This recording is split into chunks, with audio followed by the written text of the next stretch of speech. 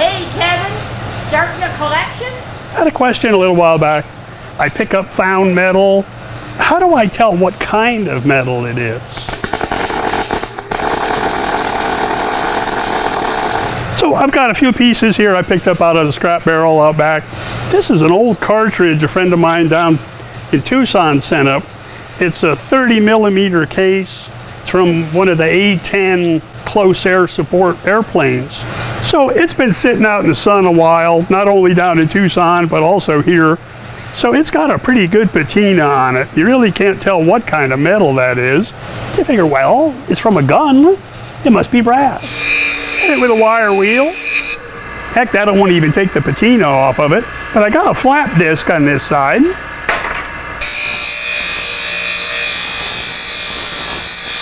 That works well on it, but you don't get any spark.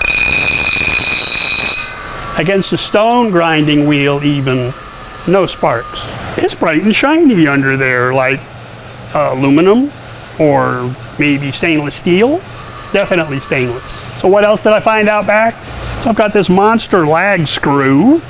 Picked this up along the railroad tracks. We were out picking up railroad spikes one time. What is it? It's definitely steel. There it is. So it's definitely reacts to the magnet. It's definitely some type of steel. Think about where it's where you found it. Think about what it's being used for. Along the railroad tracks, high tensile, you know, strong, hard, you know, it might be high carbon. I'm really not sure, but definitely steel. What else did I find? Well, a piece of good luck if it's this way, piece of bad luck if it's that way, a horseshoe. Well, of course they're made out of steel. You know, you can do whatever you want with those. A propeller off an outboard motor. It's actually fairly light for the size of it. So that would immediately say aluminum, you know, titanium, nah, too brittle. The spline inside here, where it would go onto the shaft on the outboard motor, you know, you're just feeling it. It's light out here, but there's definitely a lot of mass right here. There's something very heavy here.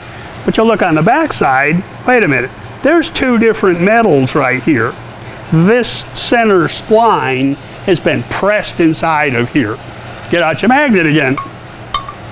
It doesn't want to stick, not steel, probably some sort of uh, stainless variation simply because it's on a propeller, it's going in the water, they don't want it to rust.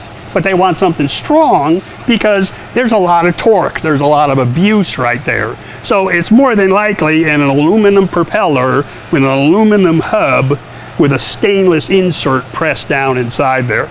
And this little guy, obviously been cut off here, obviously been cut off down here on the bottom. It's fairly heavy, now it's got a certain amount of heft to it, but it's got this wild blue-green patina on it. It's copper. See the copper color here? You just have to figure out what do you have. Now do you have the right machine, the right welder? So Brenda, I hope that clears things up for you. Kind of helps you figure out exactly what it is you're picking up. I do appreciate y'all watching.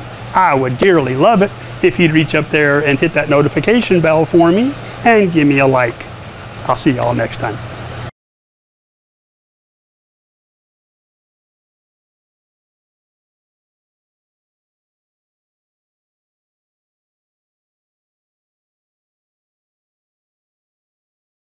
See, you got horse shit. See, that's the problem. You got horseshoes like this, and when you pick them up off the farm, they got the little horse poo just kind of stuck down in the cracks and crannies right there.